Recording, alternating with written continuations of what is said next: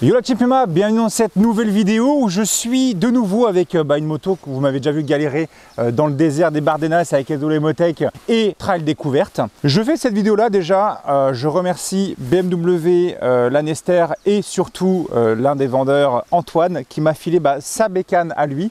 Donc il l'a équipé on en parlera juste après dans la vidéo, vous allez voir. C'est une belle bête, c'est vraiment une belle bête, c'est quelque chose qui me fait vraiment de l'œil de fou. Pourquoi fais cette vidéo les gars? Bah, En fait c'est tout bête parce que vous avez vraiment surkiffé et j'ai eu beaucoup beaucoup beaucoup de retours bah, concernant euh, les trois épisodes que j'ai sortis quand je suis parti dans, le désert. Mais mes toutes premières fois avec des grosses mémères comme ça, euh, dans la terre, dans le sable, euh, dans les cailloux, dans la boue, dans l'eau, dans ce que vous voulez. Et puis vous avez vu mes petites glissades, tout ça, tout ça. Et j'avais demandé sur Insta, donc suivez-moi bien sur Insta les gars, parce que c'est là où je vous demande beaucoup de choses pour les futures vidéos de la chaîne YouTube. C'est Lord Puma YouTube, vous allez sur Insta. Tout simplement parce qu'en fait, je vous ai demandé, est-ce que ça vous dit que je vous donne mes petits conseils et les choses que j'ai fait qui ont amené à ma chute avec la 1250 GS Rally 2021 que même France m'avait filé?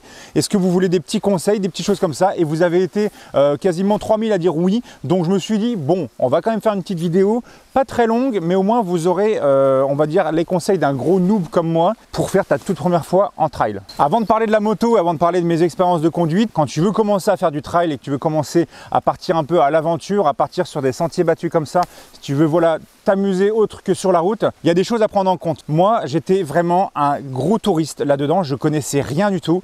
C'est euh, Motec, c'est BMW France et c'est aussi le BMW euh, Alan Esther qui m'a conseillé. Avant toute chose, il te faut un stuff trail. Donc dans tous les cas, alors c'est un style que tu aimes ou que tu n'aimes pas, mais c'est un style qu'il faut absolument avoir parce qu'il est indispensable.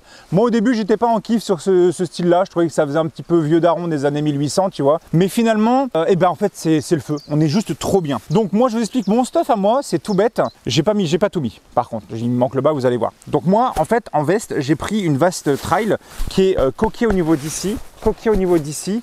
Au niveau du dos, pareil, j'ai une dorsale dans le dos. On est sur une veste qui a la possibilité bah, d'enlever euh, une sorte de doublure en dessous si jamais tu un petit peu chaud. C'est une veste qui est étanche, donc ça c'est trop bien. Quand je suis parti dans le désert, on s'est tapé un petit peu de la flotte, je suis rentré dans des grosses flaques. Je n'étais pas trempé du tout dans la... sur moi. En plus de ça, vous avez pareil des poches étanches. Vous avez plein de possibilités de venir mettre euh, des papiers, etc. Tout ça. Donc non, ça c'est cool. Là, je vous parle d'une veste BMW. Il y en a plein d'autres qui existent et qui font quasiment, et voire même d'ailleurs même mieux aussi d'ailleurs, euh, que ce genre de veste-là, peut-être à moins cher. Je ne sais pas, faudra se renseigner. Il y a aussi autre chose qu'il faut savoir, c'est que, alors le pantalon, là c'est un pantalon mat racing. J'ai dit vas-y, moi j'y vais en mode loubar, c'est-à-dire je me suis dit vas-y, je mets un cuir, je mets mon pantalon Kevlar et puis euh, je mets ces bottes là. Ne faites surtout pas ça. Pourquoi? Parce qu'en fait, quand tu pars à l'aventure, bah, tu vas forcément passer dans des rivières, dans des flaques, tu vas forcément te prendre de la flotte, tu vas, subir les intempéries. Donc, les gars, oubliez complètement un cuir quand tu vas faire du trail, un jean Kevlar quand tu fais du trail, ça ne sert à rien parce qu'en fait, tu n'es pas à l'aise. Le trail, il faut pouvoir se mettre debout, il faut pouvoir bouger avec la moto en dessous, il faut pouvoir se retourner, il faut pouvoir vraiment, c'est le maître mot, c'est agilité. Donc moi, ce que je vous conseille vraiment, le jean Kevlar, la problématique, c'est que tu vas te prendre ta première grosse flaque, tu vas être trempé et tu vas être trempé pendant toute ta journée. Donc il faut partir aussi sur un pantalon trail. Je ne l'ai pas mis là parce qu'il est au sale, il était rempli de boue parce que vous avez vu, je m'étais cassé la gueule. D'ailleurs, celui-ci, je crois que je ne l'ai même pas lavé. Je crois que normalement, j'ai encore un petit peu de terre un peu partout, normalement. Mais un jean Kevlar, ça ne sert à rien. Prenez vraiment un, un pantalon trail. C'est étanche, c'est super bien, ça coupe le vent, ça coupe le froid. En plus de ça, en dessous, moi j'ai un système, euh, je vais vous mettre une petite photo là, vous allez voir en dessous, euh, qui est vraiment trop bien. C'est un, un, sorte de, petite combinaison euh, En dessous, j'ai pris la marque d'Enez, alors peut-être qu'il y a mieux à côté, j'en sais rien. Mais euh, c'est Morbihan Moto qui me l'a offert gentiment pour en fait ne pas avoir froid. J'avais le sous-pantalon, l'espèce de, pantalon legging plus le haut. Et en termes de froid, j'étais trop bien. J'avais pas besoin de mettre des surcouches en dessous. On reste agile et on, ça permet, on va dire, de, de, braver un peu le froid et d'éviter de ressembler à un bonhomme de neige quand tu pars rouler avec ce genre de choses-là dans du froid un peu énervé. Troisième chose sur ton équipement qui est très important, voyez ces belles bottes que j'ai avec ma combinaison et que je mets euh, quand je suis euh, en train de rouler sur route. N'achetez pas ça, point. N'achetez pas ce genre de bottes, ça ne sert à rien. Vous allez les flinguer en moins de deux secondes au premier caillou, vous allez, euh, comment dire, première flaque, t'es planté, t'es, premier pied dans la boue, premier pied dans une flaque, tu deviens un sous-marin, c'est le Nautilus, tes bottes, ça ne sert à rien. Faut vraiment s'acheter des bottes. Je vais vous mettre les bottes que moi j'ai euh, pris, on va dire, pendant ce road trip.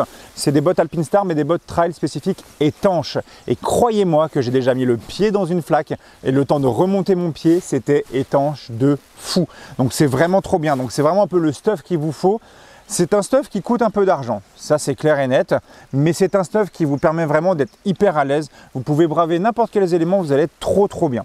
Ensuite, par rapport aux gants, par rapport aux gants, les gars, ne prenez pas des gants en cuir euh, racing, ça ne sert à rien. Prenez pas des demi-gants comme ça, vous allez euh, pas être à l'aise et si jamais de la flotte, ça va rentrer ici, ça ne sert à rien. C'est ce type de gants là qu'il faut prendre. Donc moi, ça c'est des gants donc BMW que, j'ai utilisé pendant ce road trip. Il y a deux types de gants en fait qui existent. Vous avez ce type de gants là qui sont étanches et je valide ils sont étanches pour avoir mis euh, ma main dans la flotte à un moment, c'est étanche, je vous le dis.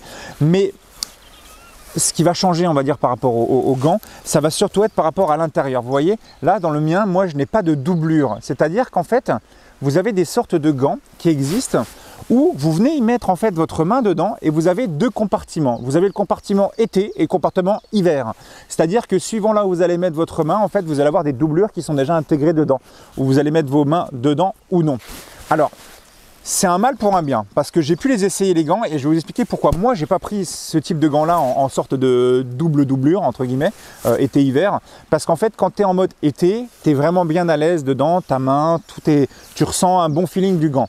Par contre quand tu viens y mettre l'hiver en fait tu viens mettre comme un sorte de sous-gant dedans et je trouve que moi ça me bloque un peu mes doigts. J'ai un moins bon euh, feeling sur les sur les poignets et sachant que c'est important parce que bah, il faut pouvoir euh, contrôler sa poignée de gaz pouvoir contrôler bah, son frein son embrayage. Voilà, moi je trouve que c'est un peu moins bien. Bon, peut-être que la marque que j'ai essayé euh, n'était pas forcément très adéquate.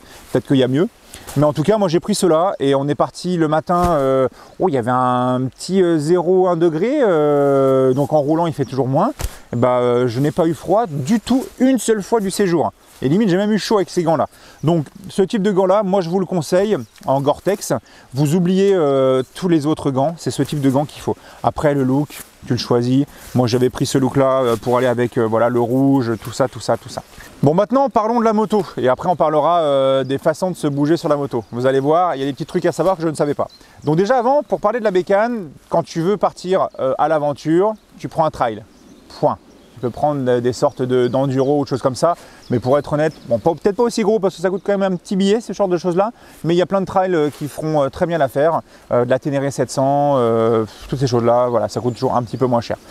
Mais il y a des choses très importantes quand tu fais du trail. Moi, tout ce que je vous explique là, c'est ce que j'ai appris pendant ces trois jours. Ces trois jours-là ont été formateurs de malade mental pour moi parce que bah, j'avais du Tom Barrer avec moi, j'avais euh, du David Frétinier, j'avais voilà, des, belles pointures euh, dans ce monde-là euh, qui ont pu m'expliquer plein de petites choses. Et, j'ai appris plein de, plein de choses sur, sur le monde du trail et de l'enduro en tant que débutant. Donc déjà, premièrement, par rapport aux pneus. Les gars, moi, je vais vous donner que mon avis par rapport à une seule marque et un seul modèle. C'était, moi, j'avais les pneus Anaki euh, de chez Michelin. Alors, ce ne sont pas ceux-là. Ceux-là, on est sur des Dunlop. Je ne les connais pas. C'est les Dunlop mutants. Bon, je ne peux pas vous en dire beaucoup plus. Je ne les connais pas. Je suis juste venu par la route ici.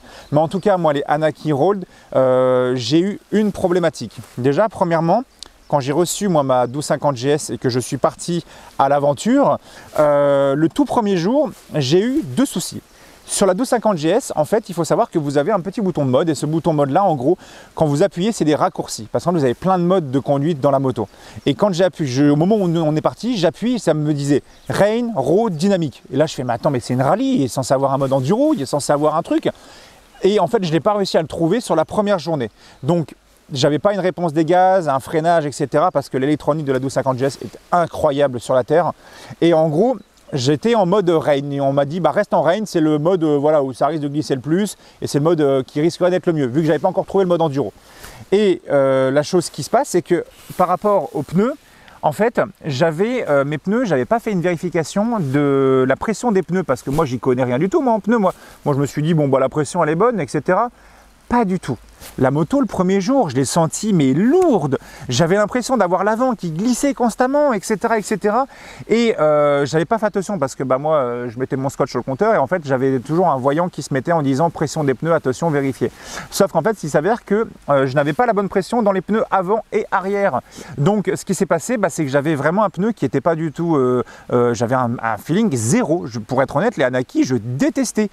Et en fait, le lendemain, eh ben, euh, Tom Barrer est venu me voir, il m'a dit Puma, on est trop bête, on est parti en mode là et en fait il m'a dit non il faut que tu rentres dans l'état de bord de la moto, que tu prennes le mode enduro ou enduro pro, moi j'ai juste mis le mode enduro, je l'ai mis dans le raccourci dans le mode et ensuite appuyé dessus pour venir mettre le mode enduro. Et là déjà incroyable, un changement de fou, tu pouvais freiner fort de l'avant, ça bougeait pas, un feeling génial. Mais il y avait aussi autre chose, c'est que je vais demander à, à Tom Barrer, je lui ai dit mais la pression des pneus, on a vérifié ma pression des pneus, j'avais un 2 à l'avant, un 2 à l'arrière. Il m'a dit, je comprends complètement que tu avais euh, des, soucis bah, de, feeling, tout ça. Euh, et même, je sentais que ça tapait à l'avant avec les cailloux, les choses comme ça. Et moi, il m'a conseillé, je ne sais pas si c'est une règle d'or, ce que je vous dis là à prendre avec des pincettes. Moi, il m'a dit un 8 avant, un 8 arrière. C'est vraiment euh, des, pneus quand, on les a gonflés à la bonne pression et que j'avais le bon mode de, conduite, oh, un régal. Je sentais l'avant qui arrêtait de partir comme ça en glissant. J'avais un feeling de malade mental avec ces pneus. Alors, il y a toujours plus en plus euh, agrippant euh, sur route un peu grasse, enfin sur route euh, comme ça, mais vraiment avec de la bonne terre, de la glaise, etc. Parce que bon, une fois que tu commences à être dans la glaise, les crampons accrochent pas mal de terre et c'est un peu un bordel, ça glisse dans tous les sens. Mais quand tu es sur du roulant comme ça, sur du sec, les pneus Anaki Road étaient génialissimes et le mode enduro génialissime. Ensuite, euh, ta moto, quand tu fais de l'enduro, euh, enfin de l'enduro du trail particulièrement, ta moto va être assujettie à se casser la gueule. Et toi aussi, que ce soit à basse vitesse, ça c'est très probable, voire 99% du temps tu vas pouvoir tomber. À haute vitesse, un peu plus contraignant, faut faire attention, tu peux te faire un petit peu mal. Mais en général, euh, c'est souvent dans les endroits un petit peu techniques où tu peux coucher la moto, ou voilà, bon, voilà, bah, de toute façon c'est fait pour tomber, un trail. Quand tu l'équipes, c'est fait pour tomber. Mon 1250 GS, il n'avait uniquement que ces par carter ici pour protéger euh, les cylindres, ici et ici. J'avais pas ce petit rajout ici en plus, mais dites-vous que quand j'ai fait ma chute, que j'ai pas filmé, et je vous invite à aller voir l'épisode numéro 1 euh, de mon road trip euh, dans le désert des Bardenas, quand je suis tombé, moi je pensais être à, peu près à 60-70, à peu près quand je suis tombé. Et croyez-moi que la moto, eh bah ici, rien n'a été tordu, ça a bien protégé la moto, ça n'a quasiment même pas rayé d'ailleurs le, le parc artère, tout était nickel. Par contre, sachez que si jamais vous achetez, que ce soit n'importe quel trail, on va dire. Donc ce trail est muni de pare-main. Alors vous allez vous dire, ouais, mais les pare-mains, c'est nickel, tu vois, tu te casses la gueule, c'est un peu comme euh, quand tu fais du cross, du machin, euh, c'est bon, ça tient, etc. Les pare-mains d'origine, comme ça, vous voyez, vous n'avez pas de barre en renfort en métal ici. Donc c'est plus des pare-branches que des pare-mains. J'en ai fait les frais, quand je suis tombé, euh, la moto, tout de suite, ça a cassé au niveau d'ici tout de suite. Alors c'est un pare-branche, moi j'appelle ça plus un pare-branche et plus, plus un design que vraiment un pare-main. Si vraiment tu veux mettre des pare-mains, l'avantage c'est que Quentin qui était en Ténéré 700 qui s'était cassé la gueule, lui avait des pare-mains WMotech et croyez-moi qu'il y avait le renfort en métal, la moto est tombée un peu salassement et la moto n'a rien eu euh, au guidon, etc. Tout était nickel. Donc vraiment si vous prenez des pare-mains, pare-mains avec renfort en métal ou alors si vous avez euh, un petit peu, pas forcément les moyens de mettre autant, je sais qu'il y a des gros pare-mains qui existent, euh, je crois c'est à Serbie, euh, pour les crosses, etc. Et ils font quasiment le même job parce que c'est du plastique sur-renforcé, donc c'est mieux. Mais ça, c'est vraiment juste de la déco, hein, pour être honnête. Ensuite, quand vous allez rouler avec votre trail, il y a quelque chose d'important, c'est les pneus, oui, les protections, c'est important aussi. Vous pouvez en mettre le maximum possible et inimaginable.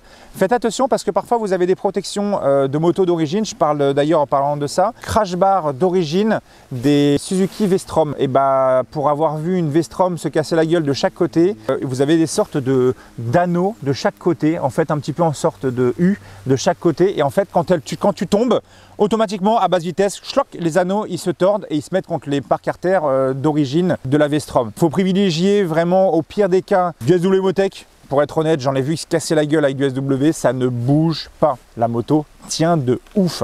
Et je dis pas ça parce que je suis en affiliation avec Motec, c'est parce que réellement j'ai vu de mes yeux des motos se casser la gueule. La moto, tu la relèves, t'enlèves la boue, elle a rien. C'est incroyable. Après, bon, euh, même les par euh, Carter euh, BMW, bon, ça tient quand même vraiment très très bien. J'en ai fait les frais quand je me suis cassé la gueule. D'ailleurs, quand je me suis cassé la gueule, les gars, j'étais tel quel.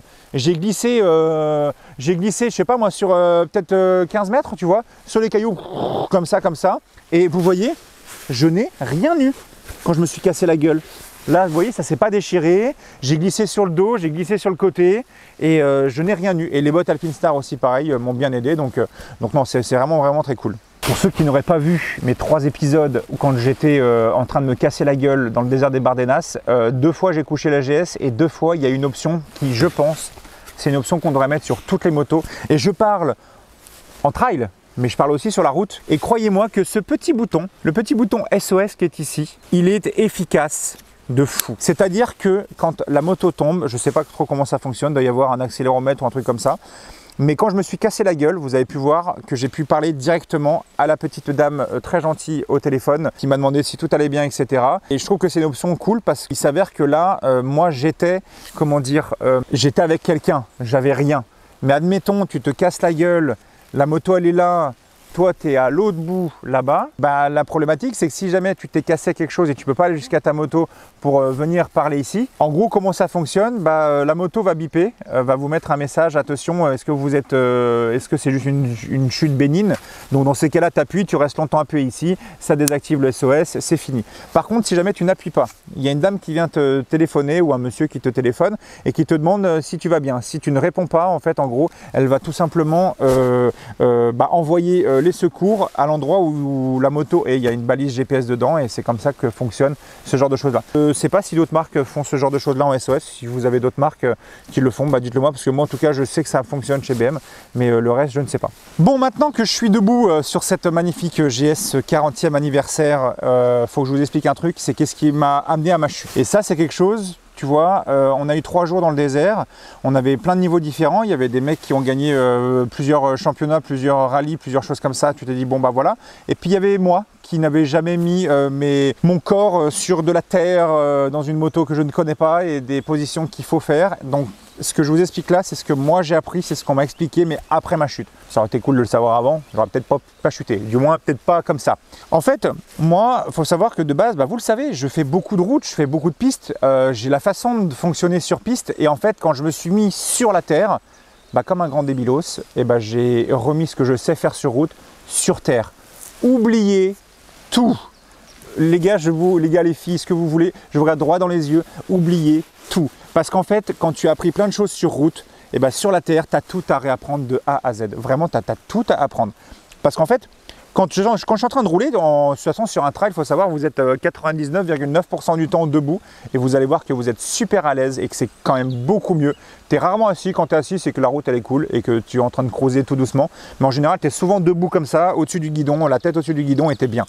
Mais admettons que je suis en train de prendre une courbe à gauche. Naturellement, quand moi je suis debout et que je suis en train de prendre une courbe à gauche. Qu'est-ce que je fais naturellement? Bah Moi en fait, là ce que je vous explique, c'est l'erreur qui m'a amené à ma chute. Moi ce que j'ai fait, c'est que j'ai commencé à augmenter un peu le rythme parce que je me suis senti un peu bien. Après une heure de route, je me suis dit bon bah vas-y on y va. Et là je commence à coup à, mettre mon corps vers la gauche sur une courbe à gauche. Les gars, moi tout seul, là tout nu, là tel quel, le modèle d'exposition que vous avez devant vous, c'est 105 kg. Donc moi je me mets debout avec les, appuis sur les deux cale-pieds, je me décale sur la gauche, je viens de mettre quasiment 100 kg d'appui sur le cale-pied de gauche. Sauf que je suis dans une courbe à gauche. Donc qu'est-ce qui se passe? Eh bien, courbe à gauche, poids à gauche, les deux roues, zipette. Et je suis tombé comme ça. C'est tout. Parce qu'en fait, moi j'ai juste fait bah, comme ce que je sais faire sur la route. C'est-à-dire, quand tu es sur la route, tu es en train de rouler comme ça, il y a une courbe à gauche, bah, qu'est-ce que tu fais naturellement? Tu te déhanches, tu prends le cale-pied, tu appuies sur ton cale-pied euh, ici et tu fais ta courbe à gauche. Donc tu mets ton poids sur le côté gauche pour vraiment faire ta courbe. Il n'y a quasiment aucun poids à droite. Et moi les gars, ça fait 13 ans que je roule comme ça. Donc forcément quand je suis arrivé sur la tête, c'est un peu compliqué. Et en fait, eh ben, on m'a appris euh, juste après, on m'a dit, quand tu fais un virage à gauche, il faut que tu appuies sur ton cale-pied de droite et il faut que ta moto soit mobile sous toi, chose que je ne faisais pas. Moi, j'étais toujours comme ça en fait. J'étais genre vraiment droit avec la moto, alors qu'en fait, c'est la moto qui doit bouger et tu appuies sur le cale-pied à l'inverse du virage. C'est-à-dire, vous avez une courbe à droite, et bah tu penches la moto ou, très peu entre guillemets, et tu appuies sur ton cale-pied de gauche. Bah ça, je savais pas les gars. Moi, qu'est-ce que j'en savais? Et c'est ce qui m'a amené à ma chute, et c'est ce qui a fait que, bah, j'ai glissé. Heureusement, je, ne me suis pas fait mal. Heureusement, la moto euh, n'a quasiment rien eu, mis à part, comme je vous explique, un petit pare-main. Je crois que là, il y a un bout de plastoc qui avait dégagé. Euh, un client qui s'était euh, déclipsé, je l'ai reclipsé. Et euh, c'était tout. Voilà, j'ai eu de la chance. Mais il faut savoir qu'il y avait une deuxième, il y avait une deuxième GS qui était avec moi, une version GSA, enfin avec le gros réservoir de 30 litres. Bah, sauf que lui, il s'est cassé la gueule à part moi assez violemment et la moto avait pris un peu plus de tarif. Mais il a quand même pu faire les trois jours. Donc, donc voilà. Autre chose aussi qu'il faut que je vous explique, c'est euh, c'était moi mes peurs euh, avant ma chute. C'est-à-dire que quand j'ai commencé à rouler, j'ai fait des erreurs de débutant et des choses qui je pensais qu'il fallait le faire. C'est déjà les ornières. Moi, je partais du principe où ma moto est dans une ornière, il faut absolument et coûte que coûte que je la sorte de l'ornière et que je me débrouille de mettre euh, le pneu devant, etc., etc. Ne le faites pas. Voilà, je l'ai appris à mes dépens, j'ai fait des petites chutes, euh, voilà, ne le faites pas, c'est vous êtes dans une ornière, tu y restes et tu sors de l'ornière jusqu'au bout. En gros, c'est comme ça que ça fonctionne, du moins quand l'ornière est assez profonde. Parce que moi, j'ai toujours essayé de remonter avec le guidon à l'avant et c'est là où tu te fais des chutes. Une fois que tu es dedans, tu y restes, point. Maintenant, j'ai l'habitude, enfin l'habitude, entre guillemets, maintenant que je suis dedans, je sais, j'y reste.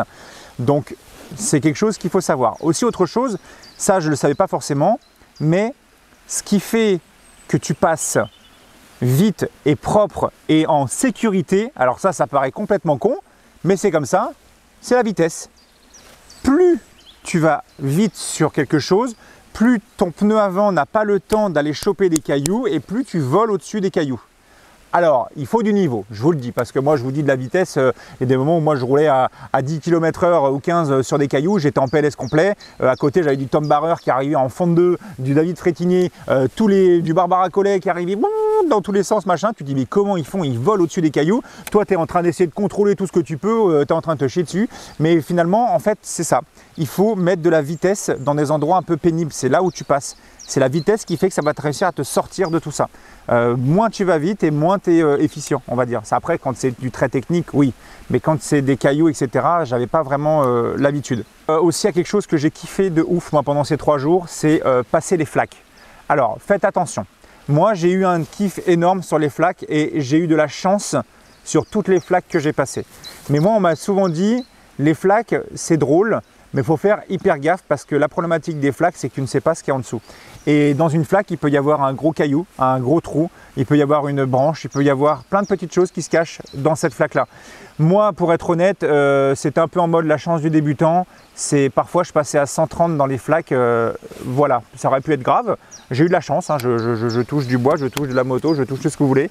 J'ai eu de la chance. Mais voilà, les flaques, faut les passer, mais en général, c'est plutôt à basse vitesse. Au moins, tu sais à peu près que si tu tombes, tu te feras pas trop mal. Mais bon, des petites flacouilles, tu peux y aller entre guillemets. Mais voilà, il faut faire, faut faire attention euh, sur les flaques. Autre chose que je peux vous conseiller en tant que gros débutant, euh, pour vous dire parce que je l'ai surutilisé, chaque moto a de l'électronique plus ou moins performant ou voire même pas du tout. Faites attention parce que moi je sais que j'ai fait un petit peu le fou avec cette moto là parce que je savais que l'électronique m'a sauvé la vie plein de fois.